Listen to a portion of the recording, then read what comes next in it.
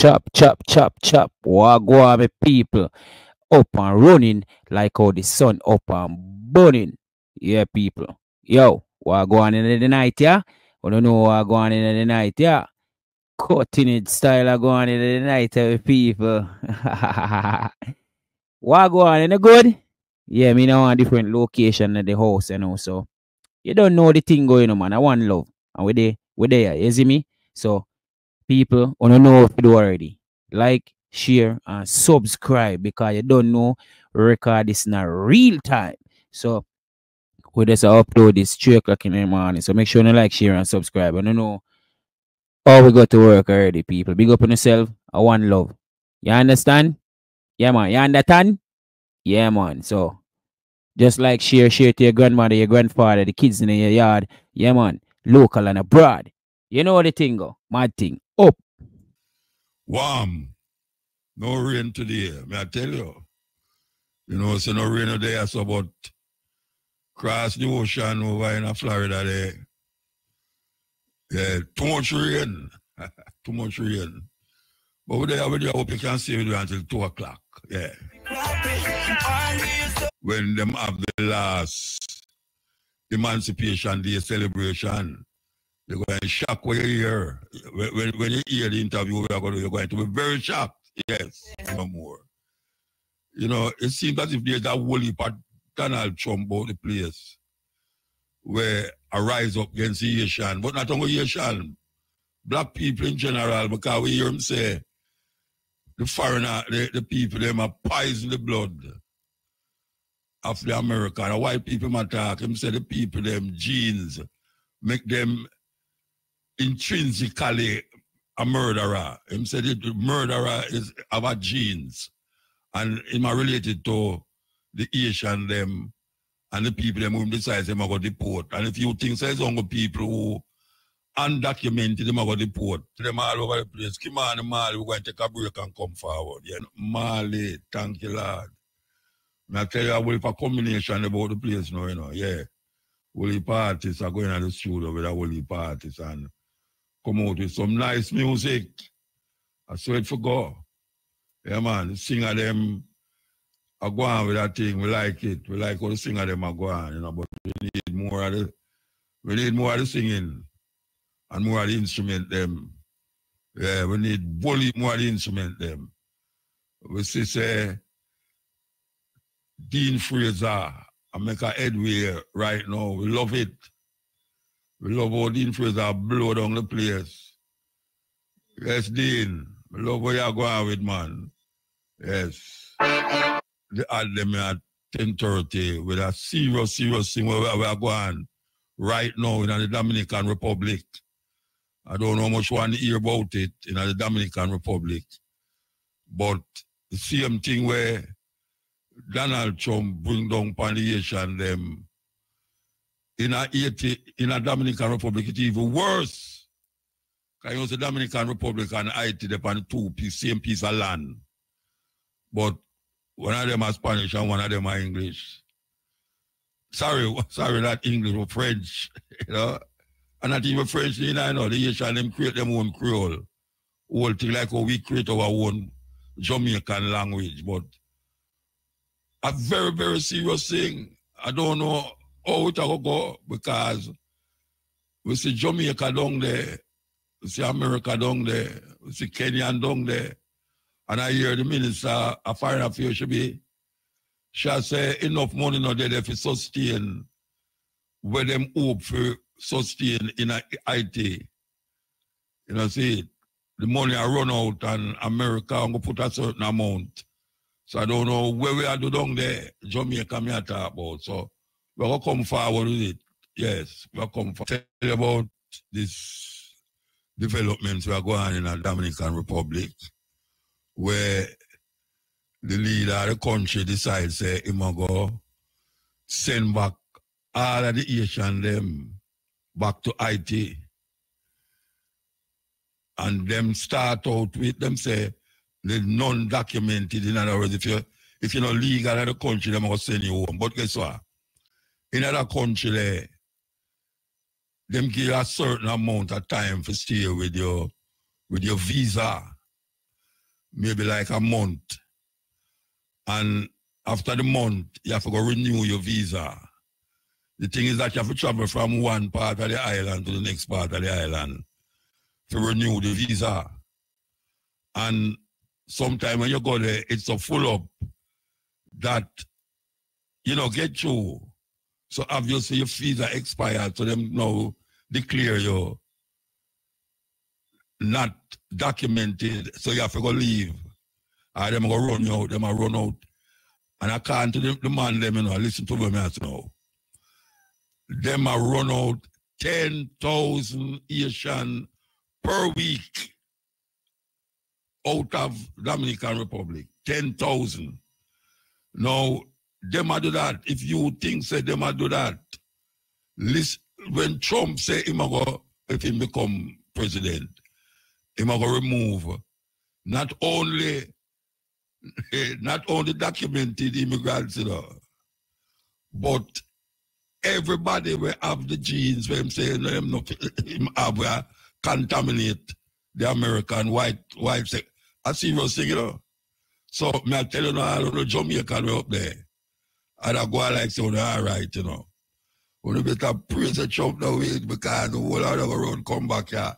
Listen to this. Decrying the international community's slowness in restoring security to Haiti, a government spokesperson for the president of the Dominican Republic announced plans to immediately begin deporting 10,000 undocumented migrants per week.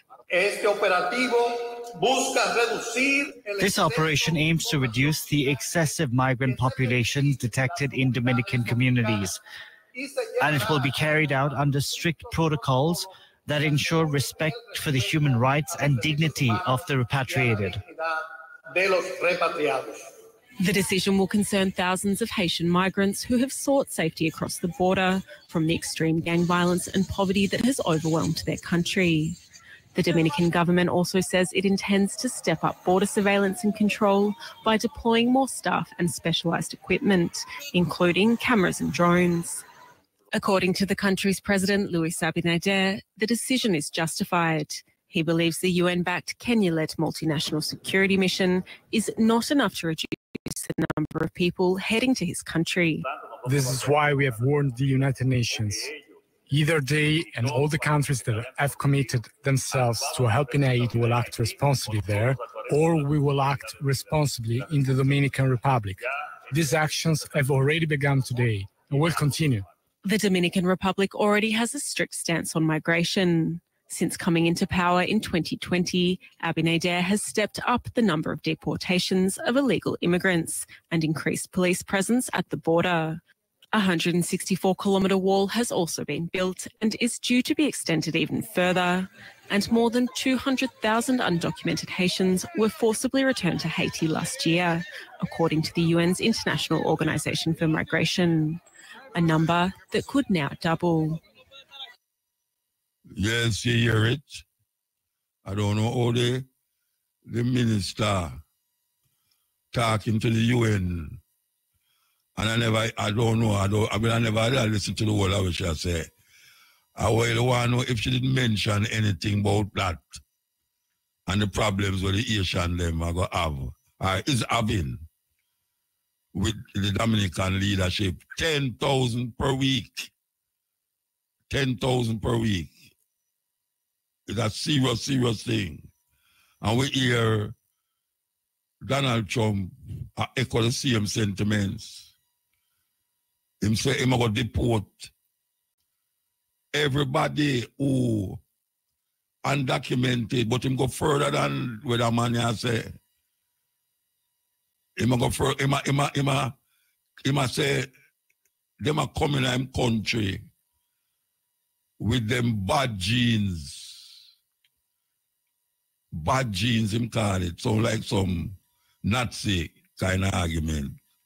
You know, the eugenics people, them, where they talk about black people is, is at the lowest level of intelligence. Yeah, them say black people at the lowest level of intelligence. So now them are show you know, say for them country, which are not for them own, because them teeth it. Them teeth it. Them come from Europe and teeth it. And white people have to fight against white people to claim it. Yes. And kill the whole heap of the Indian them, the Native American them. And now we see now them attack first, them attack the Haitian them. But as me I say, if the man ever win, trust me, he's gonna make America white again. you think a joke. He's gonna make America white again. That is him aim. Too much niggers, too much people, colored people, black people, people who talk language they, him do understand. And that's what I say, you know. And his wife is an immigrant, you know. She come from be up in Europe there. Yeah. As a matter of fact, most American right now, I want to know if him go, him go, him go deport the press secretary for the, pre, the president. Is a Haitian. She come from Haiti. You know, and I don't know, I, boy, it, it kind of stay away. it kind of stay away. Trust me. Symposium, you know, every year keep up at university. We have the man who's always pushing it and spearheading it, Dr. Michael Barnett. Good night. Yes, greetings, Walter, young man.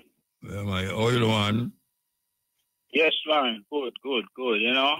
Yeah, okay. So here we come again, the symposium. Yeah. The little run up of what we're going to happen this year.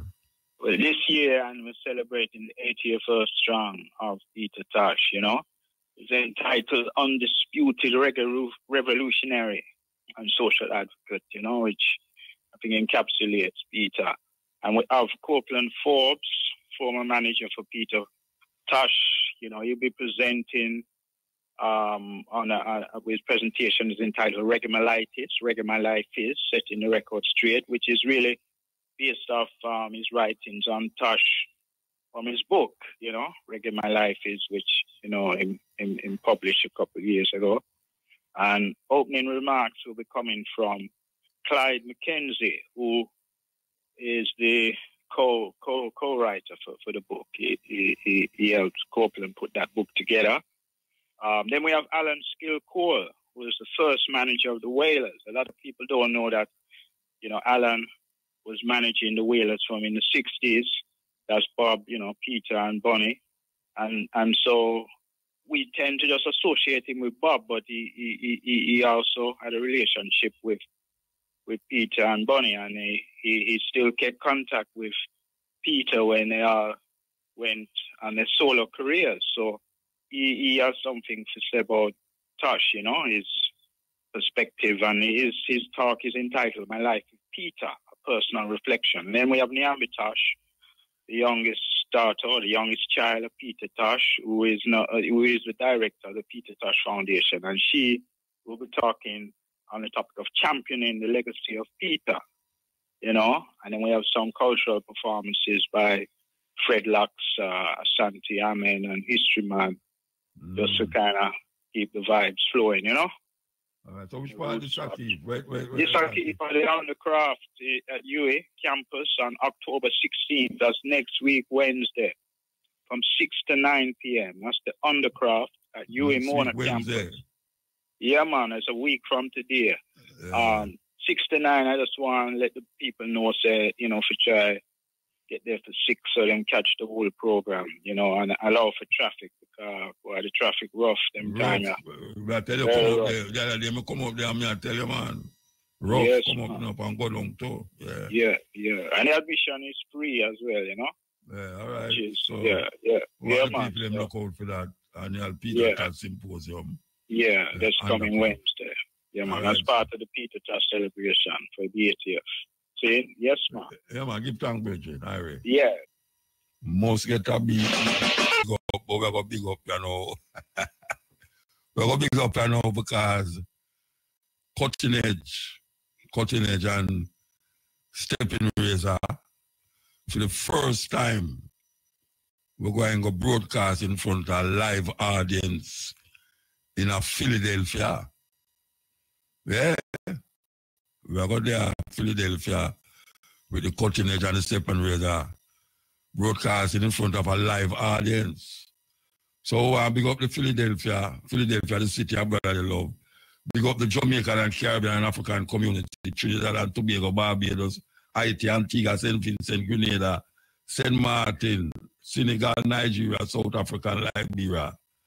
Oh, I'm up the crew of 52nd Street, the Deuce, Rising Sun, Woodland Avenue, Broad Street, Fifth Street, Olney and Fifth Street, Chelten Avenue, West Oak Lane. What I say, if the man them not hear it, you know, they go vex. You know, it's a Mount Airy, West Philly, North East Philly. Hey, the place where we're going to do it can't hold so much people, or Rasta. North East Philly, Castor Avenue. Yes, we are big up hyperactive sound, Ennis Black, Small, and hype and the crew. Okay, can't never big enough, you know. Yes, I, all right. So you want know. Yeah, going to have Philadelphia with the cutting edge and the stepping razor. Live, yes, in our all. So uh, all of you in the surrounding areas, in Philadelphia, be there, you know, say, long there's a center of activities between the Republican them and the Democrat because them said that state there. That state there, if you win that state there, more than likely you win the election. So the two parties them have spent millions of dollars long there to see who can trump up that electoral college sum of 270 first. And according to it, look, you know, it kind of even Stephen. Well, I don't understand this election thing, you know. How is it that this man do so much things and him just lie and just do all sort of lying on him something. And him still neck and neck with Kamala. I don't know how, I don't know what is it.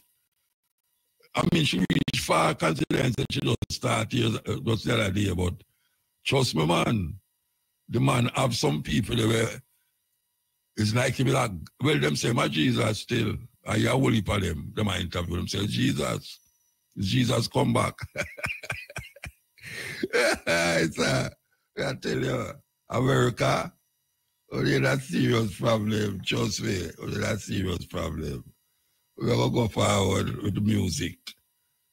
Continue, that tune there, trust me. Man have some serious political statement to make by the music, them, and we love it. Yeah, brethren, we love it.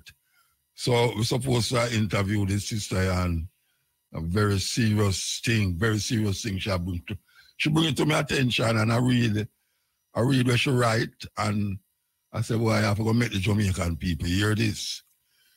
Give them, you know, last week, I went, no last week, Sunday, we I listened to Cabo and this, the same thing come about this in the, what them call it, emancipation. Couple weeks ago, me I talk about it and me I say, I will come up with them foolishness there. But I, I, I find out this who I find out this who come up with the foolishness.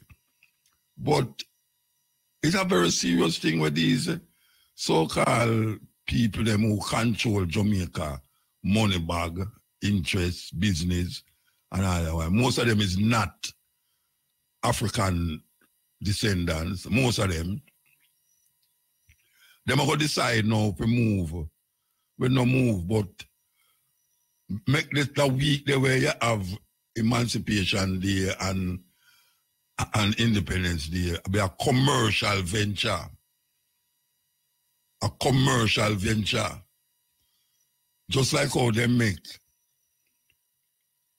Christmas become a commercial venture when I have nothing to do with Jesus. As a matter of fact, it was a commercial venture originally. Now they must say the days in between,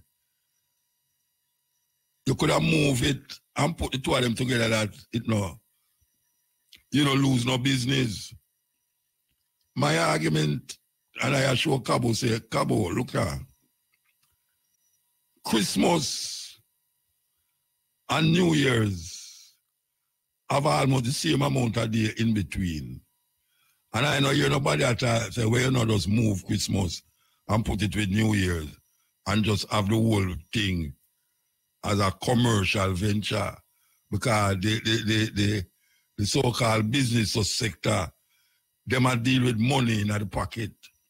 Them not deal with the this effect, the historical, psychological, and spiritual effect of why emancipation is so important to African people. Because you couldn't go move a holiday where the Jews have and say, boy, make you work with some commercial activities. Uh, if you put the two of them together, uh, hey, a joke business, a joke. It's joke business. After we fight, we put it back on the calendar. Who remember Jalide? Anybody out there remember Jalide? Them young people are too young to remember Jalide and Makonnen. Yes. When when when when we are march all in a race course, the man they all burn down the, the Queen Elizabeth plant tree where she the man they burn down Queen Elizabeth uh, plant where she plant in a, in a what them call it now. Them call it Heroes Park. And we are we, we demonstrate, we demonstrate right now uh, um, a P.J. Patterson Rex will get the praise for put back that holiday, put back that day upon the calendar. Yes. But it was very important significant. We don't know some man who do have a clue about Emancipation Day, why or when, why it is important to we as African people and African people who come from that bloodline of so-called people who was enslaved and fight for them liberation. And we reach this stage and now and some guys who was part of the part of the slave master picked them. Them ancestors come from that same slave master. I come tell we now say we must merge the two day them so as not to make it affect the working days. It's joke business. Joke business. Anyway, so as we say that now, we have a sister here. She named Desiree Baptiste. She's a researcher on colonialism and transatlantic slavery. Writer, person specializing in British chattel enslavement and colonialism. Playwright, literary critic at the TLS London, England. Hey, we want to say hello. Give time. Good night, ma'am. Hi, good evening. I know, say never know, say so quick I would have want you, don't it? good evening. How are you? I, I, I, read, I, I read, I read the thing, and I read it. Yes, great, great. Yeah, man, I, I, read it, and I, I, I, I, said, no, you have to come on the, the program in the night, uh, because we're not going to well, do a program tomorrow. All right. So well, thank you. All right. Tell the people them what you was telling me on, the, on, on my phone. Tell the people them exactly what you was telling me. Yes, okay. Well, good evening, everyone. And first of all, I hope everyone in Jamaica is well in light of the hurricane that passed in North America. I know you all are close geographically. Um, so the story um, is about the Emancipation Jubilee event that took place in July 31st recently. This is an annual event in Seville to honor the enslaved ancestors. And um, as a person from Trinidad, I consider that to be um, an event that honors all of our collective Caribbean ancestors. Um, and, uh, uh and the story is that the two New Zealand women who came and presented an apology in person, um, apologized for their ancestors' role in enslaving Africans in Jamaica uh, on the Argyle estates. And they then mentioned one ancestor of African heritage who was a housekeeper in the Malcolm family. And they said that they wanted to honor this ancestor going forward, honor her memory. And it has turned out now that this ancestor was herself an enslaver. And not just an enslaver, but somebody who benefited when slavery ended and was paid compensation to the tune of forty thousand pounds in today's. All right, hold on, hold on, hold on, hold on. Stick up in, stick up in. You are saying that the people them who was honoring the so, supposed to be slave was a slave master themselves. That's what you say. Yes, a slave owner. That is correct. Slave owner, yes. And so, yeah. So the Jamaican, the, the, the people them who responsible for the for the the, the the bring them here and make them do this thing. They didn't know that. Well, it doesn't seem like anyone knew that. And um, that's part of the problem. And I think that part of the problem is this easy access suddenly that we in the Caribbean are giving to these enslaver descendants that just come and want to give an apology, which is um, not a bad thing. The intention is probably coming from a good place. But I don't understand, and many people don't understand how they came so quickly into being put on the stage at what is a sacred event. And that me I say too, because I see a whole heap of people and I say, you know, say, I don't really want to interview them people there, but I couldn't get to go interview them because I did love interview them, you know, and I don't know what happened after that because now that them gone, you know anything, what happened after that? Well, Did we they don't give know a reparation? No reparation money, no nothing. no reparations money. So, you know, to look closely at this one case, I think is really important. Um, this is not a situation of, you know, berating the Caribbean reparations movement, which is a great cause and is making great progress, becoming more famous and talked about. And, um, and that's a great thing. But I just think that we also need to critique what is happening as a people. We need to keep our eyes open. And I think it's very symbolic that this apology took place at night, around midnight, when most people in Jamaica were asleep, because it could only happen when a country is sleeping. Yes. Well, maybe it never take midnight for them sleep because I come like most of we are asleep right through. You know, we get we get look like we get drugged out by these nice talk and pretty talk and you know, oh some white people come here to come apologize and all them something there. It's amazing. You know, we, It we is love- amazing. yeah, we love see that, you know. We love see that, you know, when white people come own up to certain thing, yet still know that is just words. You know, 400 years, words. 500 of words, you know. So, what you think should happen now? What you think should happen? Now that you have brought Well, it I to think- the attention. Well, I've written an article. It was published by a Caribbean network based in Florida, Caribbean National Weekly. Um, I think it would be great maybe if the local um, press in Jamaica might report on it because I think it is important. Um, but I think a little bit at the bigger picture, you know, about what is already happening. Because first of all, the two women who came to Jamaica did not just come to give an apology, as it was reported. It was reported like it was this big gesture. They came all the way from New Zealand because they felt such a, a need, a heartfelt need to make this Yeah. apology to the people of Jamaica. But in fact, we were also filming a documentary while we were in Jamaica. Oh, yeah? Okay, so this is what they're doing. They're making a film. So what we're talking about here is interested atonement. That's something that we need to scrutinize and we need to be talking about. Yes, yes, yes. So, so they started to make the, you know, the, how far they reach that picture that they're making. uh, it's a progress. So obviously they managed to film scenes that they did while they were in Jamaica. Um, you know, so they filmed uh, a clip of a New Zealand newspaper called Star, which people can look at online if they're interested.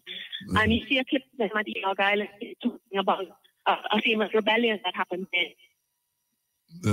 You know anything about the Jack's family that is in Barbados? We went to Barbados to apologize. State. The Jack's family. you know.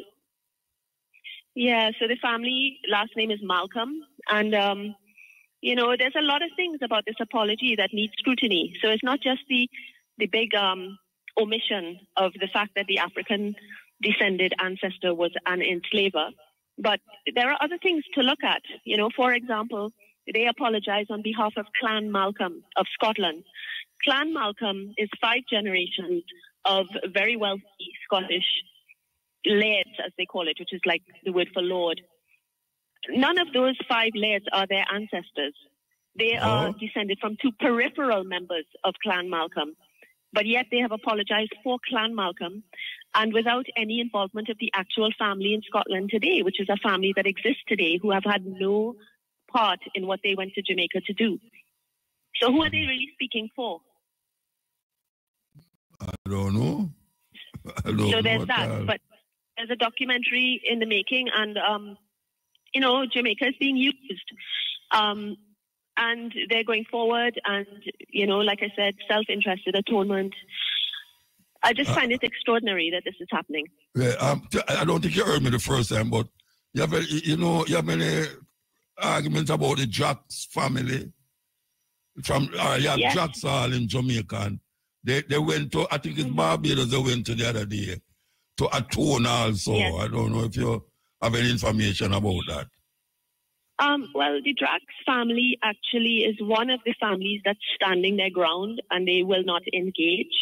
So the Drax family is one that uh, the Barbados government has tried to um, approach and engage with to discuss reparations, and they are ignoring it. And the current um, family representative in England is a very wealthy man. He was an MP until recently, and at the time he was an MP, he was believed to be the richest MP in the House of Parliament. Um, the family still owns the original plantation site in Barbados with the original house built in the 1600s. Yeah. Um, nothing is happening in that direction. And but there are Drax Hall, one or two Drax Hall, families. Drax Hall, Jacksall is still named after the Drax family. Where si- Yes, civil great still- yeah. th- yeah, yeah. Still named yeah. after So, them. so you have these, you have these families. Um, you know, there is a group of families that have come together and formed uh, an organization called the Heirs of Slavery. Which let's start with that name, for example. Many people are saying, why are they calling themselves the heirs of Heirs of slavery, and when they are the heirs of enslavers? yeah. So there's that. Wow. but they have an organization and some of them have made apologies in relation to the countries in the Caribbean where they had uh, ancestral involvement in enslavement. yeah. Um, so it's not all terrible news, you know. These people have a contribution to make. Some of them are powerful in the media; Yes, they can influence. But Others, we yeah. still have to scrutinize and, and critique it. You know what I mean? yeah. That's my course. view, anyway. Yeah, no, I agree Um, with you. I agree with you. I agree with you. You know, we have Um, also the, the, the, the, the, the leader for the Prime Minister for Alan Dutch, the Dutch Prime Minister, who had apologized Yes. also. That was a big Yes, thing when that him is correct. apologized. Yes, yeah. Wow. Yeah, it's a big thing. And I think, you know, one of the issues that's really interesting is why it's justified in, in the Caribbean among the reparations leaders uh, engaging with these uh, white um, enslaver descendant families is because they seem to believe that these families are going to help pressure the British government into apologizing and paying reparations. So that's the strategy. Uh, and maybe that's a good strategy. But at the same time, you know, I think we, we can't be asleep. We cannot be sleeping as a Yeah. people. And you cannot have people come to Jamaica and spin a yarn, tell some version of their history, and then it turns out to not even be accurate, or at least it's not completely accurate and it's distortion. And I just think we deserve better. And, and I think we need to be mindful of our ancestors. You know, you cannot have a commemorative event like the Jubilee, the Emancipation Jubilee, and have people go up on stage and say they want to honor an ancestor who it turns out it was an enslaver. Mm-hmm. Yes, sister, I'm So- really glad that I asked you to say it for yourself rather than I saying it for you, you know. Um, so what is your next you know- what is your what is your next um what what you doing now as a writer? Well, as a writer, right yeah. now I am working on a I'm working on a book about um, the reparations movement. So um, that is happening with a Caribbean publisher, and and that's quite a wonderful thing. And um, it's exploring some of these issues where the reparations movement is today, and uh, it does explore some of the issues around the white um, enslaver descendant families. yeah. Um, it's focusing on on one particular enslaver descendant family. I won't say which one, but um, it's a very interesting exploration of, yeah. let's say, it's an exploration of the backstory of one of these uh, enslaver families. Um, and then there are other things. Um, you know, I have a play that's circulating around the UK. It's called Incidents in the Life of an Anglican Slave, and it's based around a real document from the archives, a 300 year old letter written mm. by an enslaved individual to the Archbishop. Okay. Um, oh, yeah, I have to say something, Muta, so if I may. I want to say something about the Church of England, okay? Because this is important in relation to what we're talking about. Um, they, there, there was more than one apology that night at the uh, civil emancipation jubilee, and one of one of them came from the Church of England. It was a recording of the Archbishop of yes, Canterbury, yes, yes. so-called apologizing. Um, but what I found striking is that he said the church sinned. That was his explanation for the Church of England's involvement in slavery. It was a sin. Um, slavery was a crime against humanity. And I don't understand how Jamaica, the Jamaican government, has accepted all of these apologies on behalf of the Jamaican people. I would love to know how they came to accept these apologies on behalf of the Jamaican people when these apologies uh, stop short, really, of fully acknowledging true apology. You know, the criminal yeah. responsibility. Yes, yes. You know, yes. how, how could we accept an apology where the Archbishop of Canterbury said at a sermon in Jamaica. He gave it on the 21st of July yeah. on a Sunday. He said the church sinned. I don't understand that. Okay? So, you know, I, I really don't understand it. You know, hundreds of years of involvement in the enslavement of Africans, including owning enslaved people in Barbados where people were tortured, branded. Yeah, the, the, the problem is that the Anglican Church, they have always been sinning. the Anglican Church well, is yes, a sinner church. so I don't know because they actually start a whole heap of these madness that take place with Henry VIII. Henry VIII to kill out his wife and his wife and farm the Anglican Church from the Roman Catholic Church, you know. So, uh, yeah, they, them full of sin.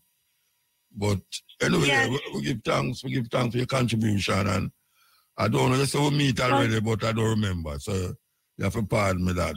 I don't remember meeting you, but. Yeah, we met just briefly in Jamaica at a poetry event at the Edna Manley um, Center at Mona. Okay. And it was, um, you were honoring Mervyn Morris. So that was a really nice, um, nice thing. Um, and you gave a nice speech. So I do, I, I remember that. I wonder if it's the art um, school and not the university you're talking about at the art school? Um, it might be. It's the it art school, be. man. Um, it's art school. There was Anna and Mervyn Morris at the the the Edna Manley Art School. School. Y- yes, that's it. And um, it was honoring Mervyn Morris, and you gave a wonderful speech. And then you stopped at one point, and you recognized that uh, Rupert Lewis was in the audience, and you stopped and you gave him some some some deep and heartfelt thanks for his um his role in your early career. and in your first publication. Yeah. Um, so yes, that was that was evening. I remember it. Um, right. You know, but how do how do people in Jamaica feel about these issues? You know, you, you know, talk to a lot of people. No, I talk about it, but people, if you don't if you don't bring it to them attention, it just pass. You know, it just fly past. But it's not something where most Jamaican interested in. I mean, them go at that ceremony, but the ceremony just a night out for a lot of people. You know, yeah.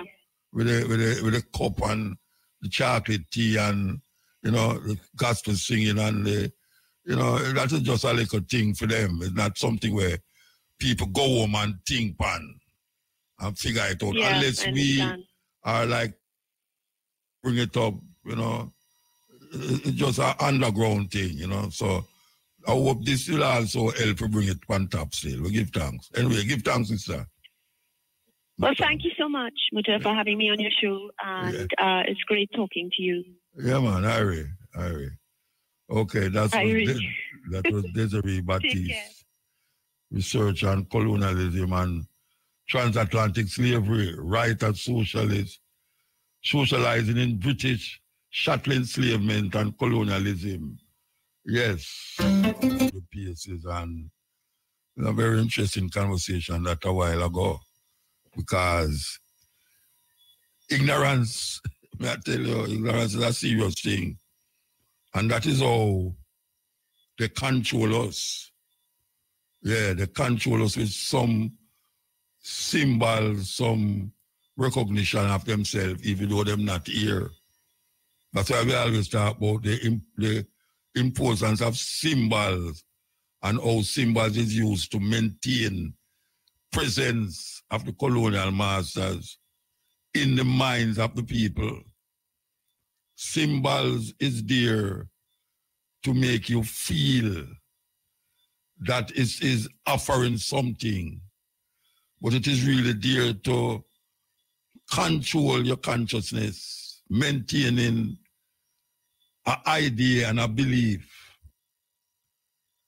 Like when you say a statue, a statue represents the most important part of your understanding of who or what you are supposed to look up to. That is why the white Jesus is so important to your mind. Because even if you don't see it, even if you don't see a picture of that white Jesus, when you close your eyes or when you pray, no matter how you say you're conscious, when you project your mind to deep space and search for an image, that image come out to be the picture that is on the wall. Serious thing. That picture is part of your consciousness and it portrays something that they know it will continue be a part of your understanding of them, not of you. Because when you pray, you're supposed to pray internally. So they caught you internally by giving you something external. And even if they move it, it's still indelible in your subconscious. And you pray to that image. We come to the image get a leak. Because that is what is manipulating the mind of most African people around here. Images, symbols, like when them have you wear a cross around your neck. That is a symbol of their supremacy. Because in Israel, the cross is an emblem of what would I like how you call a, a rope, a lynching rope, or a guillotine, or an electric chair. The cross is that. And they have you wearing it around your neck of something of symbol that you're the image that they put on the wall become a crucifixion around your neck. As if it was a electric chair would you put an electric chair around your neck? If them they tell you say that image died on an electric chair this is the cutting edge we're going to take a break and come. In our head. Even though we now see something and it helps influence how we think, how we feel, and where we do. And it was placed there not by you, but by people who control you to our levels. Because sometimes we say we're free. And really, what is freedom? Because look on a simple little thing like a stoplight a stoplight, they to control human beings' behavior upon the road when them drive or ride. Nobody is there to tell you go or come. Was a time in Jamaica when you have a policeman stand up in the middle of the road with a big gloves on him hand. And sometimes I'm in a little shelter in the middle of the road. And them are direct the, the four lane, four different north, west, and south with the traffic. Now, them don't have no police in the middle of the road that way again. Where them have some light, red, gold and green light, will decide your movement. And even if you can't read, the lights is a symbol of what you must do when you see certain light illuminate pan the, the post where they pan. And everybody know what the red mean. Everybody know what the yellow mean. And everybody know what the green mean. And even if you drive and you wander upon the road, are you wander upon the road, the light still on there to control you. Some people go through the light. Some people, even if they don't see nobody, stop at the light when it's a red. Some people, if when them say red, them still go through. Some people get over it when them go through. Some people get lick up when them see the other when, when them never see the other car come from the other side. And some people hear a siren behind them when them see the red and don't stop. And it always imprinting in your mind. Next time, anytime you see the red, you go and make an effort to stop. Some people too late for them when them go through the green. It's too late. When the, uh, the other man will come from the other side, lick him when them go through the red. Very important that we understand how we mind function as it relates to symbols and what symbol have to do with how we govern ourselves in this part of the world. Yeah. People do things based upon what them understand about a specific thing. Living are just inanimate. Because most of the things them where we give credence is not living things, it's inanimate objects. Like when you say, when you go on the highway and you see a triangle, like an isosceles triangle, upon a red, upon a yellow um, what, um, poster, and a poster, them show you say it's a steep hill you enter. You enter a steep hill. You see the isosceles triangle. Watch it. Sometimes I put a little thing there, you see stone a roll, you say, watch it, stone go down roll, come down there. So you can't read, you know. But you see the sign. And the sign make you know what is ahead, even if it don't there. And it make you subconsciously and subliminally are prepare for something that might not be there. That is a form of control. Them show you say you must travel 80 kilometers per hour. And every every kilometer you go, you see the sign mark 80 kilometer. And you choose to press the gas because you don't see nobody on the road. But you did see the symbol, you see the sign say 80 kilometers. And when you press the gas and go over to 90 kilometers, you see some man come out of bush along the road with them uniform and them have one something a hole in front of you and you say, you have to stop and them say, look here, you to go 90 and 80 mile and 80 kilometers so on. And you can't tell them say a lie, them I tell even if the machine never work. even if the machine never work, when them hold it in front of you, you can't say nothing because you never look on the speedometer. Most people don't drive and look on them speedometer unless they expect something. And what you expect is in your head that is projected by the person or the people them who put that there to make it come in your head. Say, you know, say, the, the sign say 80 kilometers, I was ease up half of the brakes, you know. And I was ease up half of the, sorry, the speedometer, the speed, the gas. I was ease up half of it. And there goes your freedom. Because you ease up half of it and you go below the 80. And when them hold up them thing in front of you, them realize, say, oh, him, him kind of, him not, him not so fast. Some of them machine they now work. May I tell you that some of them machine they not working. It is just there to control you. That is what they're there for.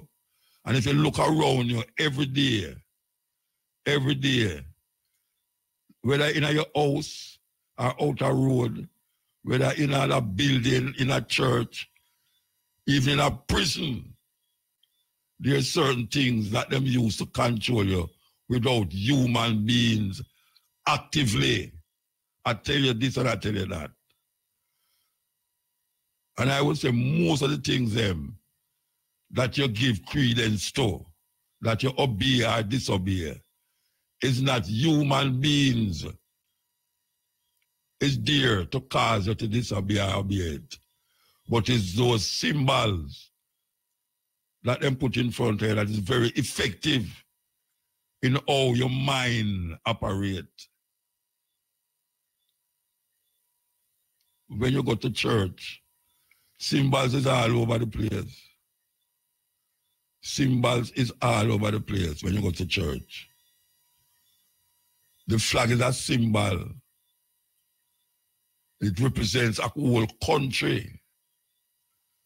And the color that is on the flag or the star that is on the flag, a serious thing. We continue the journey, you know. We're to play this. We're to play this. Listen. Have you ever seen a black boy whose IQ scores more than a physicist like Albert Einstein? A black girl who can speak 10 different languages? Or a black boy who started speaking in full sentences at the age of only six months? Well, let's know about the 10 most genius black kids. Number 10, Ramarni Wilfred. If Einstein and Stephen Hawking had a genius competition, guess who would win? That's right, Ramarni Wilfred. This kid has an IQ of 162, two points higher than both Einstein and Hawking. Imagine being able to read and write fluently before the age of three. By 10, Ramarni decided to casually score higher than some of the greatest minds ever on the IQ test. Number nine, Anila Beavers. What were you doing at four months old? Probably babbling, right? Well, Anila Beavers was reciting her ABCs. And by the age of four, not only was she reading, but also speaking Spanish fluently. Her IQ was 145, and she became a member of Mensa at the age of four. If anyone deserves their own reality show, it's her. Imagine watching a toddler solve puzzles while casually discussing world events in multiple languages. Number eight, Alannah George. Alannah George is another kid who makes the rest of us feel like we might have been a bit lazy growing up. At the age of four, she had an IQ of 140 and could solve 50-piece puzzles faster than most adults could brew their morning coffee. She became the second youngest member of Mensa in the UK, showing that her intelligence is truly out of this world. Number seven, David Balogun. David Balogun didn't just graduate from high school at age nine, he did it all remotely on his iPad. Let that sink in. This budding astrophysicist is already developing theories that challenge the Big Bang Theory, and he's got plans to explore the mysteries of black holes. In his spare time, he's inventing concepts like hologram computers. Basically, David is out here breaking scientific ground while the rest of us are just trying to figure out how to use our smartphones. Number six, Kelvin Doe. In Sierra Leone, Kelvin Doe built a radio station at 15 using nothing but scraps. Think about it. Most kids that age are trying to figure out how to make a sandwich, and Kelvin's out here creating media platforms. His invention brought communication to his community and got him an invitation to speak at MIT. Number five, Mabou Loiseau. Mabou is fluent in eight languages and a master of eight musical instruments at the age of five. This multilingual prodigy speaks French, Spanish, Mandarin, Arabic, and more, all while playing the piano, violin, and guitar. Number four, Carson Huey. At just 14, Carson Huey was earning a master's degree in quantum physics. Most of us can't even say quantum mechanics without getting tongue-tied, and Carson's out here researching it. He's been fascinated with math since age three and is already on the path to a PhD in physics. If the world needs a new theoretical physicist to crack the mysteries of the universe, Carson is the one to watch. Number three, Alena Analeigh. At 13, Alena Analeigh is not just attending medical school, she's also the founder of Brown STEM Girl, a nonprofit organization that empowers girls of color in STEM fields. Imagine juggling medical school with running an organization. She became the youngest African American medical student ever, proving that she's not just smart, she's a trailblazer for future generations. Number two, Caleb Anderson. Most kids learn how to read at age five, but Caleb Anderson was reading by the age of one. By three, he was already tackling advanced math, and by 12, he was being recruited by Georgia Tech. Caleb's brain is like a supercomputer, processing information at lightning speed. He's on a fast track to becoming one of the youngest college students in history, leaving the rest of us wondering how he does it.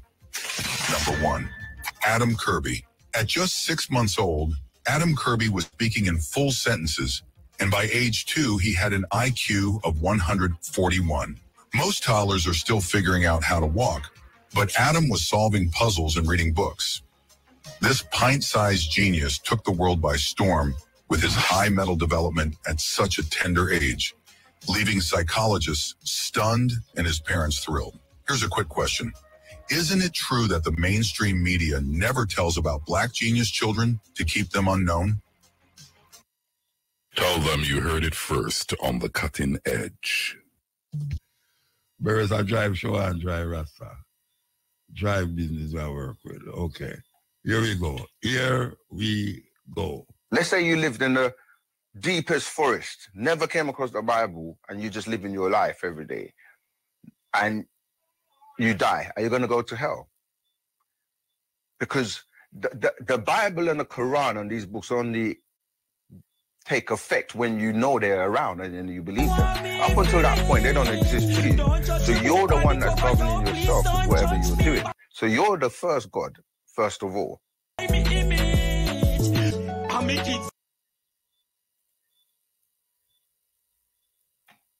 Oil in your backyard, it's government property.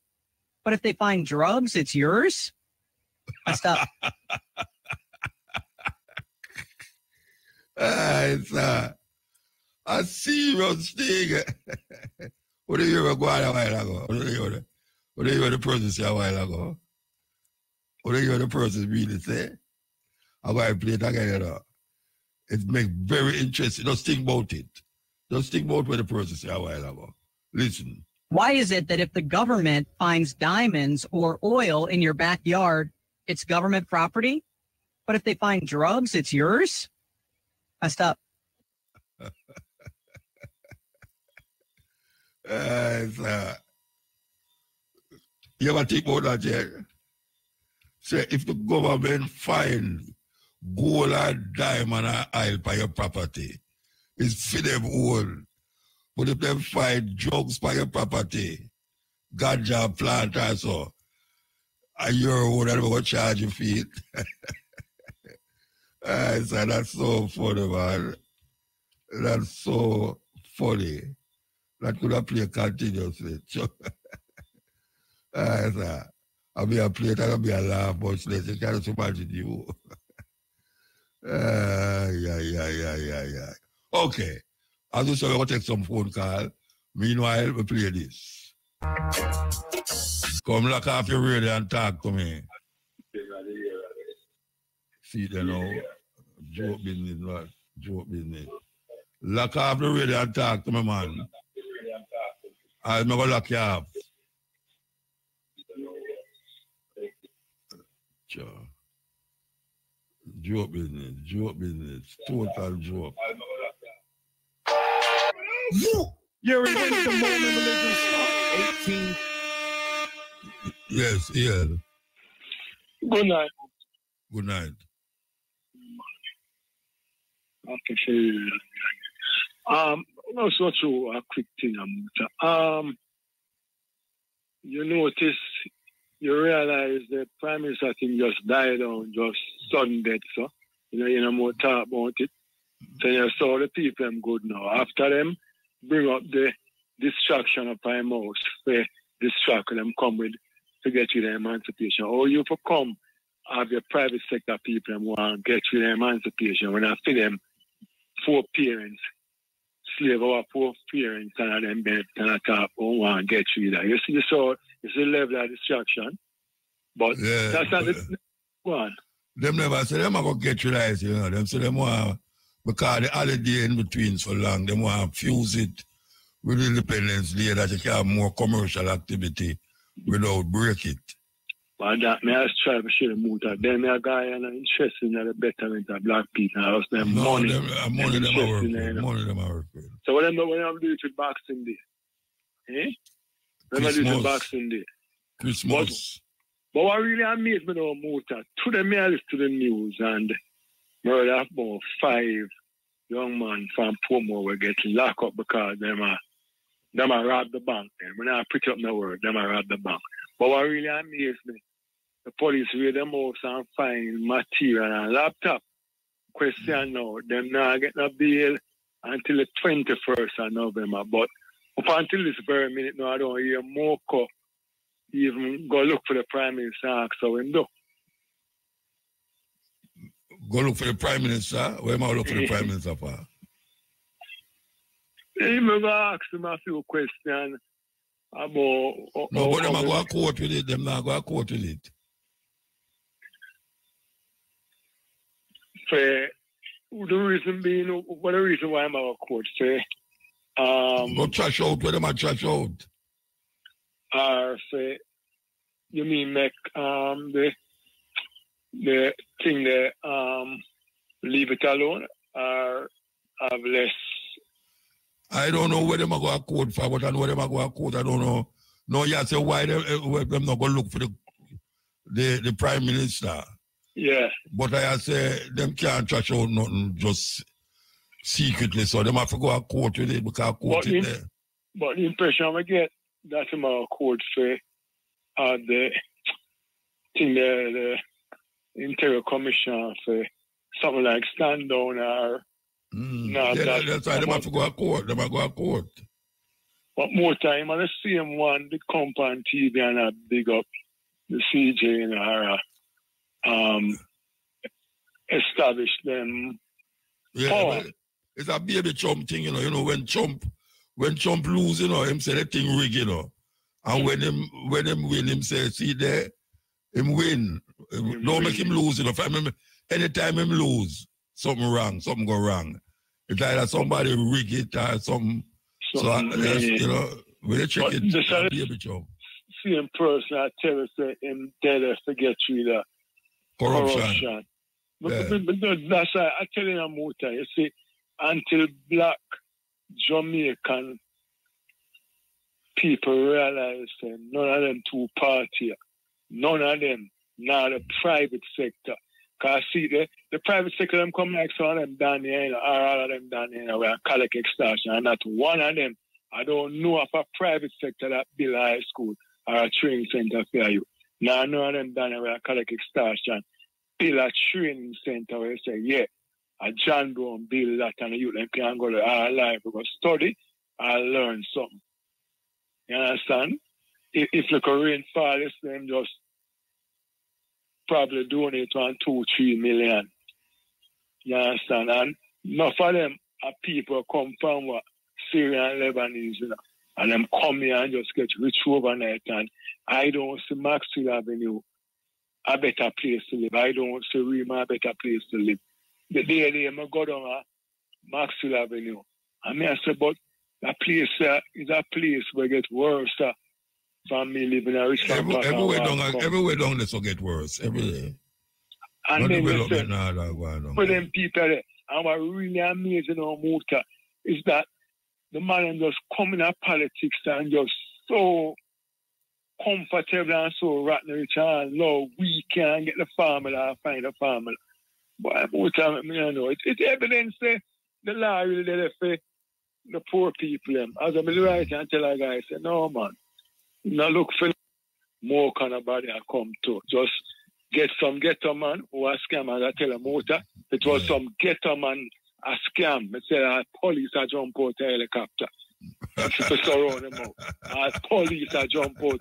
And one marine with a, then a boat for patrol the sea coast to stop the gun from coming but while the sea uh, sea coast was act like when I'm going to do this in the south. But Oh, until well, black people realize that uh, we have to get this thing together. No Mark Golding, no Andrew Wallace, no dead for we because them have them with motor. I don't know where I run as a black man. When a white boy come stepping on my show. And them can't run up because them I carry them wealth with them. I can't see them coming up poor, so poor, so poor and so rotten rich. One man a more must say half a St. Thomas. And the people yeah. say the same way. I, I make the Jamaican people till no blood our way and still I make it quick. And them swap election and you see the people in my room come with them but this and that same way. Motor, not not change for them. Me, don't know motor. But no matter program what camp in a motor, eh? Jamaica National Service Corps. Just like how we talk about the COVID money, would I like somebody add the Jamaica National Service Corps and the COVID money and so who are benefit from it? Water, mm. long life, my brother here. All right, bless but There's time for them, man. Long life. I'm big up to Raspa and Ricky School. Respect All right, sir. Good time. Yes, me I tell you, I can't even play this before the the the the, the, the way name let's start. The them. Here we go. 30. We was in slavery in 1830. Uh, Church, uh, Yuri, what year did that Baptist religion garbage start? 1608. We was in slavery in 1608. Yuri, when did the Mormon religion start? 1830. We was in slavery in 1830. Yuri, when did that damn Jehovah, what is that, seventh day disadvantage start? 1863. We, we was just being emancipated, okay, when he still was whipping our backs. Couldn't read, couldn't write. And when did the damn Jehovah Witness start? 1872. We was under Jim Crow and black codes. Come on. And that next one, the Pentecost, when that start? 1901. We was under Jim Crow laws. So what the hell are you Christians talking about? None of these religions pertain to our people. They hated us, despised us then, as they despise us now. Oh, you scared to death Negroes. Just sit up. And that's to actively and aggressively stop Israel. Cutting ties, just cutting ties, isn't going to be enough at this point. You need to impose a no-fly zone over Gaza, impose more sanctions against Israel than you uh, imposed against Russia. You need to demand immediate IAEA inspections of Israel's nuclear facilities. You need to revoke the American citizenship of every Israeli dual citizen and seize all Israeli assets in America and Europe. You need to take uh, Netanyahu to the ICC yourself. Join the South African case uh, at the ICJ. Ban Israeli media. Treat the Israeli flag the same way that you treat the swastika. Designate the IDF as a terrorist organization and Israel as a state sponsor of terrorism. And if that doesn't do the trick, then you need to launch a shock and awe campaign against Israel the same way that you did against Iraq, the same way you did against Libya and Afghanistan and so on, and bomb them back to the Stone Age, because that's what you do, isn't it? Isn't that supposed to be the American way? But we all know you'll never do that. And because we all know that you'll never do that, we all know that you have never meant a single word that you said. And that's why no one is ever going to listen to you again. The only thing that you can possibly do to salvage yourself is something that we all know that you will never do. So you've been found out. You've been exposed. Your cover has been blown. The audience for all your speeches about democracy and liberty and human rights are filing out of the building and we've turned off your microphone. Or you've passed the Rubicon of hypocrisy at this point. There's no going back now. The world is moving on, knowing what we know. And no matter how much you repeat your completely bankrupt narrative, you can't make us unknow what we know about you. America is a train wreck that collided with a dumpster fire, and you're trying to put that fire out with oil and plutonium, and everyone wants to get as far away from you as possible. using the generator on the West. It's strange that you don't want me to call you the West. You don't want everyone to be lumped together under that term. It's not my term, it's your term. I didn't come up with it, you did. You call yourselves the West. Western civilization. We all grew up hearing about how wonderful the West is. Western achievement, Western thought, Western enlightenment. You're happy to take collective credit as the West for whatever you think is good. But for the bad things, you want to disassociate yourselves from it. When you're talking about the bad things, then you're like, well, what West are you talking about exactly? Who do you mean by the West? The way you people tell the story, people like uh, Douglas Murray or Jordan Peterson or Sam Harris or uh, Richard Dawkins or uh, Hitchens, Christopher Hitchens, all these types, you would think that every European on the continent participated in painting the Sistine Chapel.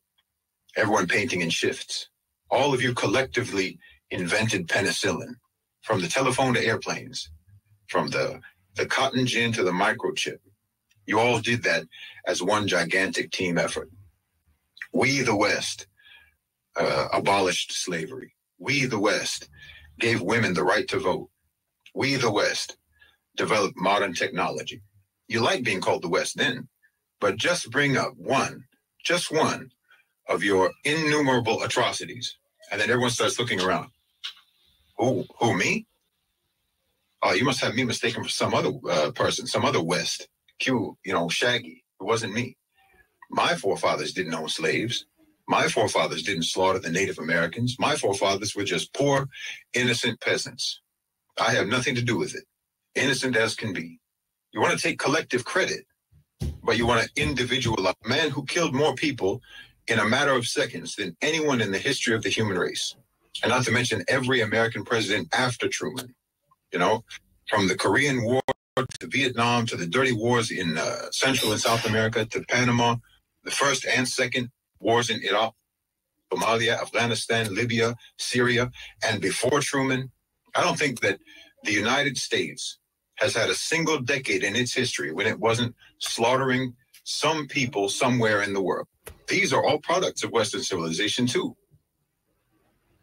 But anytime these crimes uh, get brought up, you deny collective responsibility. I mean, if I try to list all of your crimes, I can't even remember them all. But if I try to list just the ones that I can remember, your battery will die before I can even properly get started. You've got statues of Winston Churchill, who starved millions of Bengalis and who used poison gas on the Kurds. You not only don't condemn your terrorists, you not only don't try them for war crimes as they should be tried, you re elect them into office. Not just elect them, re elect them. And you deny any responsibility for their atrocities. No, if you want to be called the West, when it comes to any positive achievements, then you have to accept being called the West for all the full catalog of inhuman, vicious, uh, genocide, murder, rape, torture, bigotry, exploitation, oppression, assassinations, coups, and subjugation, evil and brutality, all that your people have ever committed. That's why I always say Western civilization is a sarcastic term because you never civilized. And, you know, we made cool stuff is not a defense. Your approach to morality is um, let's not and say we did. Let's not be moral, but say we are. You think that righteousness is denying the evil you do, not stopping yourselves from doing the evil. As long as you say you don't do it, or you call it something else, then somehow uh, you're not evil when you do evil, as long as you don't admit it. It's upside down world. Every day is backwards day in the West. Bad is good, wrong is right. It's no surprise that you think that uh, a person should be called whatever pronoun they self identify as, because that's what you've always believed. That's what you've always done. You self identify as virtuous, as moral, as righteous, freedom loving, tolerant people, even though you have never been that. And no one in the world sees you as that. But still, you insist that that's what we call you. You insist that we deal with you as if that's what you are. You've always believed that the whole world uh, should participate in your self delusion. So, of course, you came up with this idea that a man uh, should be called a woman and treated as a woman if he believes that that's what he is, or a woman a man. This isn't new with you. It's always been the way you believed. It's always been the way you functioned in the world. That uh, you believe that you had the right to defy objective reality, and that your own victims uh, had no right to define you, no matter what. You insist on your own blamelessness. And I'm telling you, how on earth do you expect to ever stop doing blameworthy things if you think that you are immune from blame no matter what you do? Yes, okay. Your forefathers were probably poor peasants. I agree with you. They didn't participate in the crimes of the West. They didn't participate in colonization or imperialism. But then they also have no reason to take pride in the achievements of the West either, and neither do you. They were victims of the West in their own way, and so are you. If you want to disassociate yourself from the crimes, then disassociate yourself from the achievements. and realize that you and your forefathers and your ancestors were all abandoned and betrayed and duped by propaganda about Western civilization. No one ever cared about your development or your forefathers' development. No one ever cared about your welfare or your forefathers' welfare. No one ever cared about your upliftment or theirs. No one ever cared about your life. Not yours, not your forefathers, not your ancestors. And the West doesn't care about you now. But here you are defending it. Like you have no self esteem, like you have no pride. You and I both know the West doesn't care if you starve to death. They don't care if you get kicked out of your home and live on the streets. If you spend the rest of your life drowning in debt, they don't care. If you fry your brains on drugs, they don't care. And if you decide that life is too hard, they'll help you kill yourself. That's the West. And that's what the West thinks of you. The West didn't raise you right because you don't matter to the West. They don't care if you have knowledge. They don't care if you have an education. They'll pass you on up to the next grade, whether or not you can read or write, because you don't matter. Every day of your life, your civilization, all around you, is shouting at you in a million different voices that you don't matter. You're just a replaceable cog in the machine. Everyone in the West is regarded as disposable by the West, and still you defend it as the pinnacle of human refinement.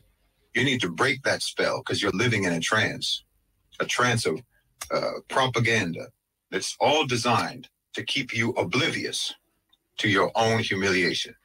But then you'll get mad at me for trying to tell you to break that spell, to break that trance. You'll get mad at me because I'm trying to tell you that you need to stop being humiliated. You need to stop uh, aligning yourself with the, the, the ones who are humiliating you. You need to stop aligning yourself with the ones that were humiliating your forefathers and that are humiliating you now. And you're going to get mad at me. But you don't disassociate yourself. I'm supposed to disassociate you from them, but you're not.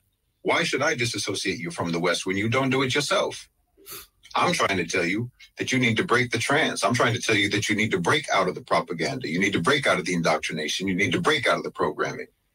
But you're going to get mad at me for telling you that. And you want to hold on to the programming. You want to hold on to the indoctrination. And then while you're holding on to it, I'm supposed to separate you uh, from the indoctrination that you're that you're holding on to. So how are you supposed to change? At last, forget that. yeah, man.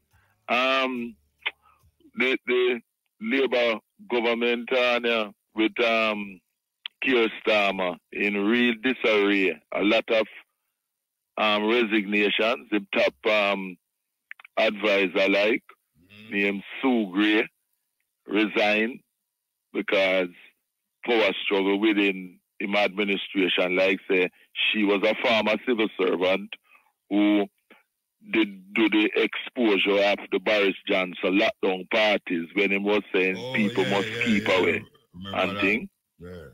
And people in his party saying that she have too much power and that type of thing. And so she forced to resign, but she gonna have a next role for him for represent him in other things and so, you know what I mean? Mm. And thing.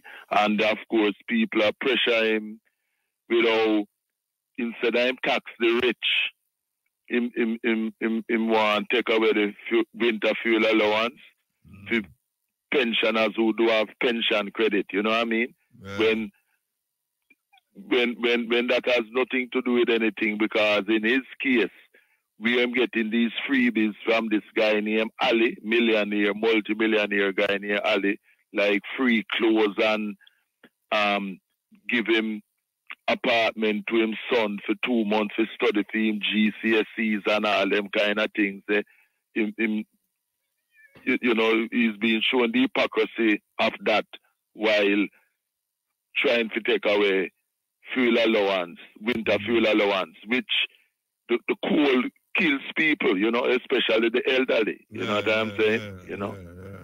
Yeah, I, I watch because it's not it's none of his business um what pensioners have. Each pensioner have in terms of them bank account or whatever thing. Pensioners supposed to get rights irrespective of what they have because they have worked their lives and paid into the system and must get them rights and should not be um deprived of them benefits. You know what I mean? See? I, I, look like it's most of the capitalist country them are going with them something there, you know, 'cause Y- I- yes. I- America, I work with that too. Yes. You know, them them tax The- the the- poor. the- in other words, the rich get richer and the vast dead. majority of people to, to, be poor. And and this is the but Muta, this is the only way that they are richer and richer by Mm. Exploiting and robbing the majority of the population. crucial. Because as you know, if if, if people were being paid proper and just wages, people wouldn't be in the problem, you know. It's a deliberate thing to underpay people and and as much as they, they, they, they, they can, you know what I mean? While they become richer and richer. Because as you know, without workers in, in, in anything, no society can function Yeah. the wealth of a country rests on the the, the, the, the, the, working of the workers. You know what I'm saying? Yeah. Things don't happen by themselves. If if if all workers in every country, for example, go on strike, everything crash, you know. No matter how much billions these guys have, them them would have to th- th- th- them would have to just pack up shop, you know. If people refuse to work, everything grown to a halt, you know. But it's because enough people as workers don't see the power that they have if them exercise that type of unity. So in Jamaica, Britain, Canada, wherever, if workers come together and say, listen, if we don't get this, we stop work. Those who exploiting them and thing and thing have to run away and disappear because the whole society would come to a stop. And that is why they always fight against workers working together in unity, in trade unions and that type of thing. You know what I mean? Yes, you know. And yeah, and Saturday coming, you know, is the anniversary of when in 1992, Marcus Garvey Jr., our teacher there at Kingston Technical, as the seventh president general of the his father's UNIA and ACL, decreed that every 12th of August must be commemorated as the genocide day um, for what has happened to African people in the biggest genocide in history, you know, with what Europeans did to us, Jews and Arabs, all three, and that reparations must be paid by all three. Because the 12th of October is the anniversary of when, as Marcus Garvey said, um, the boy Christopher Columbus from Genoa, Italy, invaded the Caribbean and landed at the island of Guanahani, which him renamed San Salvador. So, same way other people have their days when they remember what happened to them, we have our day, which he decreed to be the 12th of August. Yeah, you see, you see what happened in in a Dominican Republic where them are trace out the Haitian them. They, they, they have always been doing that because No, it's a racist republic, you know, know. 10,000 per week, them are chasing, you know. 10,000 Yes, of them per yes. week. It's a racist republic, the Dominican Republic, that's always fought against the Africans in Haiti and, and, and, and, and that type of thing. And and what you have is the children of Haitians who are born in the Dominican Republic are not given Dominican Republic citizenship, you know. No, no, no, no. Yes. Yes, not given not given Dominican Republic um, citizenship. This was why a few years ago when I saw that um, Andrew Holness gave some Jamaican government honor to, the president of the Dominican Republic. I was very, very What a angry thing, man. What a thing. because if you know history, how can you be awarding a racist republic president like that? Yes. I wonder, I wonder if them people them know history. Exactly. Them, them know anything about history and Yes, politics. Because when I saw Andrew Holness to that say, you, you- you're awarding a Jamaica government honor to a racist uh, republic, racist president who, who, who, who kill and deport Africans from Haiti. Well, them are, them are extended you know, at 10,000 per week. Them say them are let go. Yes. Let them go back to Haiti. And you know, Haiti stay there now. Pre- pre- pre- pre- precisely, you know. Mm. And, and and you know what is significant to The boy William Ruto in Kenya, who sent police to Haiti to help the US and French imperialists for conquer Haiti and that type of thing. The amount of crime and homelessness in Kenya Yeah. that is going on in Kenya. Kenya has one of the biggest um, slums in, in, in the world, right? Um, children are being stolen, kidnapped in Kenya, and and and and and, and killed, used for their body parts and that type of thing. But he has time to be sending Kenyan police to Haiti to work on behalf of the U.S. racists instead of sorting out the massive um, criminal conditions in, in, in, in, Kenya where people are suffering and that type of thing. That boy William Ruto is a evil neo-colonialist traitor man. And that this is why I applaud Traore in Burkina Faso and the others in um in, in- in Mali and Niger who have come together. You know, recently Traore in Burkina Faso was saying, why the African Union not taking steps to stop the killing and genocide in the in, in, in the Congo, where them killing our people for years upon years. The, the, the- these US and other companies, right? Because the coltan in the Congo, without it, mobile phones can't work and that type of thing. Tell them and them something that can't work. Yes, and the and the murder of our people in the Sudan too. Especially the where the Arab them, militia. Janjaweed, meaning devils on horseback, murdering our African people in Darfur in the Sudan, even though they are Muslims, you know, Yeah. because of racism, wanting to exterminate our African race from our own continent there in the Sudan and elsewhere. Child slavery are going enough too. Yes, yes, never stop. As Marcus Garvey Jr. used to say, and Mario Tiena, and so still going on and killing Africans despite the fact that they are Muslims in the Sudan and that type of thing. you know? We have to move. Y- y- Yes, and and one one more thing. Um, on on on on Saturday to CM commemoration of African Holocaust Day and thing. There's going to be a thing in Stratford at the Hibiscus Center in East London where we're honoring people like Errol Dunkley, Jamaica's second child with Garden Star. Him gone up the I'll back, be him up the, him up the back of England. Yes, man. Yeah, man. Him- him- He's been here couple months, couple months and thing, you know. Oh, and I just did an interview with him the other day, a live story interview, which will be released soon. It's been filmed. I filmed it, you know. I'm in the editing stage. So any show are going up there now, which other which show going to England you know? Which artist up there?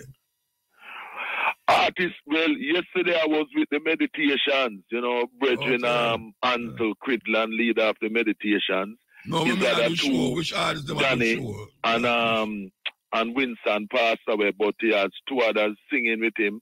They they will be doing a show in Brixton, you know, Okay, okay. and and also at Linval Thompson and also Big Youth and Little Roy. Oh, big youth up there now too. Big youth up there.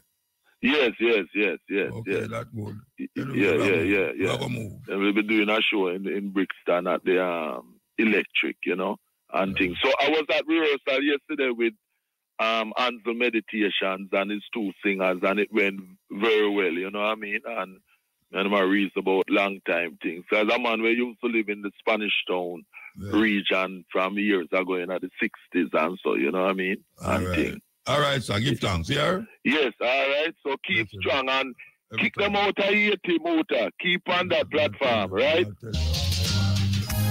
Listen. Good night, Muta, Good night. the. Good night, man.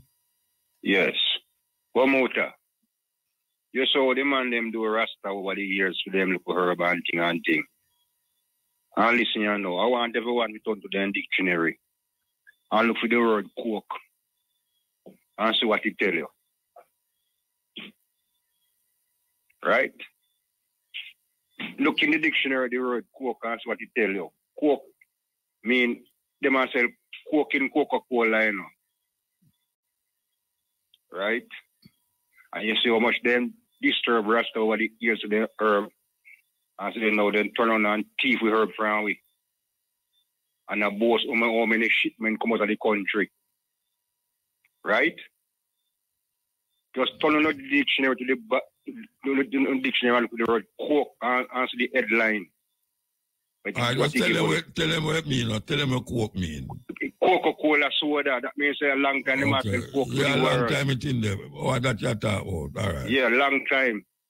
So, you know, find say, No, but if being looking so, at the dictionary, you're not going to say Coca-Cola in a the coke, cocaine in a Coca-Cola. Yeah, I man. think you, you, I think you ask about the, the meaning of coke. no, man, that's, that's what I say, go to the dictionary, look for the word Coke. Mm. We have a dictionary, me look for it, you know. Yeah, me not say no look for it. Me just Right. ask you because when, when you say look for what it mean. Yeah. Okay, all right. And Coca-Cola in a, uh, underneath the word Coke as well. Co- cocaine, Co- Coca-Cola. Right. So you see what the man do to the world do. So sometimes I wonder what the people man this and that and that. Right? And a long time I use this word uh, and, and I dominate the world, you know. Yeah. Long time, Right, of I-. Yes, and you see it too. Yes, how much them crucify Rasta crucify me me me one of the Rasta me like pop out of my head. Yeah. Get leak. Go to jail. Yeah. I see them now. Two Well, I, I, don't, I don't know. I don't know. A long time a coke and a Coca-Cola, man. I don't, I don't know. Yes, but you know, A long time it man. yeah, but you see now, that's what I tell them, I turn to the dictionary, the dictionary, and see the things straight away to go on, you know. Okay. Yeah. I see two party thief with herb though. You understand? And you them the youth them in our country we actually have them one like that Rasta. Look at now. Look at now, man. On one sense what? All right. Since I don't want something to fight, I don't want to fight. So you see? Remember the man that oppress you know, fourth parents, fifth parents, sixth parents, seventh parents, eighth parents up the line. Where are we black people turn upon them back here now? God, white, no, no, no white man, because there's no white man. The mongoose race, the hurricane peace rat. Right? See, in time is up now. Right, sir? Because there, um, you see what go on in Israel and now, though. Two country have fire for Israel one time and now. Um, and, and if, if America intervene and go down for attack, it's going to be hell for Israel because everybody going to fire for Israel because you cause the problem now. When the war will go on in the Middle East, is Israel give America your space down there. Right? And so that did warn him, you know. So look here, Israel. Be careful. And you see today there, a man pump 180 missile per year, you can't think back one. The, the time is up. A time for America to win in power now. Because what we know, I watch uh, to it in under my hand, you know, because want all forces in Africa, all the, all the forces, the military forces, I want the whole of them to link up with me because if they're afraid, afraid of that man, I'm not afraid of him. I want everybody to work with me. I'm not giving the military powers them. Because I'm not afraid, afraid, of, afraid of them, you know. Because you see what I know? Them run atrocity on the black race. Rich off of the black race, sweat, blood, and tears. Until the day you want to come back for me, not going to work. Not going to work, Mr. Mongoose race. All right, sir. Right, sir? So the You youth them, say never want them. yeah, the youth them in, a- in, in a Jamaica, me here or now. You know, if we organize and fight against the oppressor who, who, who destroy your, your seven, me not about the fourth and fifth generation, the six, seven, eight, nine, up the line, what they have done. Mm-hmm. And that if we organize and, and, and, stick to, we are kill off one another, we, we are idiot. Well, me no, no, you know, yeah, we know. Have sense. I bet you right now, we say right now, black man say, right now, we have, we have to take back revenge now. I bet you plenty of them heat up run gang, run gang, gang, gang high. And when if you defend it, now we defend it. No, man, wanna make me shame, man. Come on, man. What gonna make you shame? Nobody now make you shame, man. Oh. No, to, to the youth, them, I, I, I do something now. You go for your man, uh, Muta. One man you want, you're, you're, you're, you're six, seven man. Yeah. They say, I idiot them there.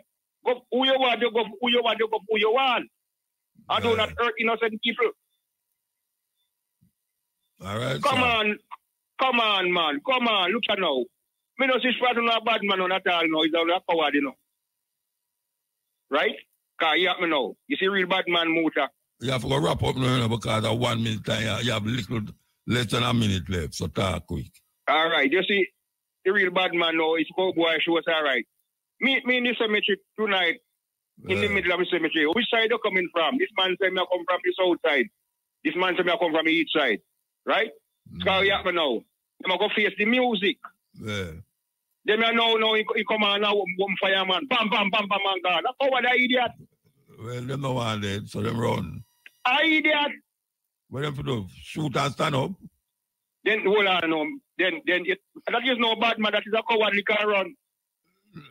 So where must go? When them fire shot, they must stand up? Muta. What? Look here now. You want fire shot, you If know, you no go for, fire back well, fire you. if, if you go for go kill a man, you go shoot him and stand up there? But let me ask you now, you want fire shot for a man and no shot for fire for you? Yeah, of course. If you man. fire shot for a man, why you want to uh, shot fire for you have to run. Anyway, we have to move, though. We have to move. We have All to right, move, yeah? shot. Yeah, all right, give thanks. Yes. Time signal time. Here we go. Listen, listen, listen, listen. LGBTQ is the new birth control pill. Two men cannot reproduce, two women cannot reproduce, and now they're even transgenderizing our children. They're manipulating and indoctrinating African children to undergo sexual surgery so they'll never be able to reproduce again. Dwyane Wade, whose son is now legally had his birth certificate changed. Mm-hmm. He's legally a girl. Yeah. Hormone therapy. When he gets 30 years old and looks in the mirror and says, you know what? I don't like living like this no more. I want to go back to being what God made me, a man. I want to get a wife and I want to have children. We only got one problem, don't we? Your reproductive is gone. Your testosteronic levels are gone. Your ability to produce healthy seed is gone. There is no going back. It is birth control and racial extermination. Why you think Kamala Harris is traveling throughout Africa?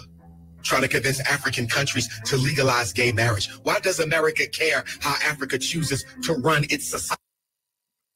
Serious thing. Serious thing. Listen. Put 100 women and 10 men on a deserted island, and in 100 years, you'll have a thriving community of men, women, boys, and girls. Now put 100 trans women and 10 men on a deserted island. In 100 years, you will find the skeletons of 110 men. Let me break it down.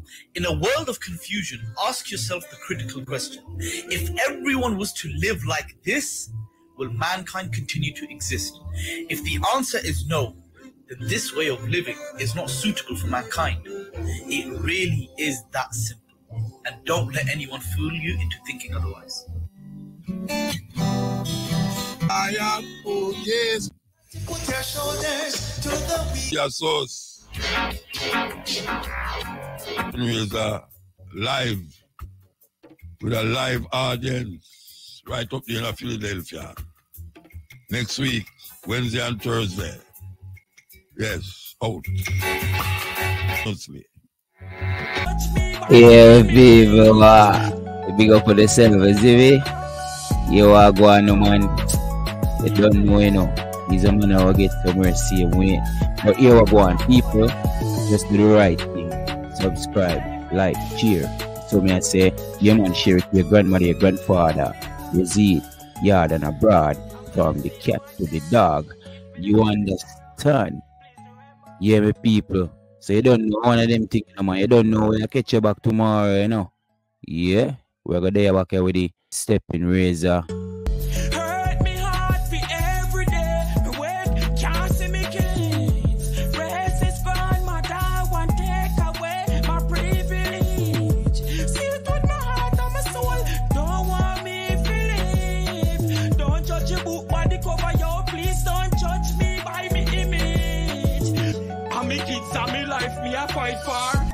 So people, big up on yourself. You understand? Yeah, man. He's a man we catch it in our next one. You understand? Yeah, man. So just like, share, and subscribe, as we say. Is it? Yeah. You don't know all the thing go. Share it with the cat, the dog. Yeah, man. From local to abroad. You understand? Yeah, my people. So, one of them thing, you know. Yeah, man.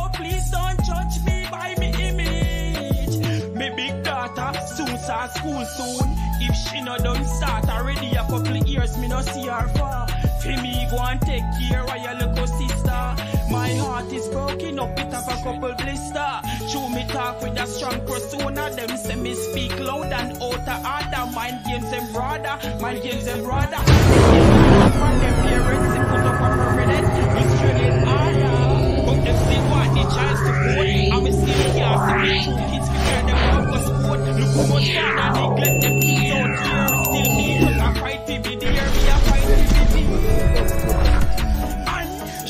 to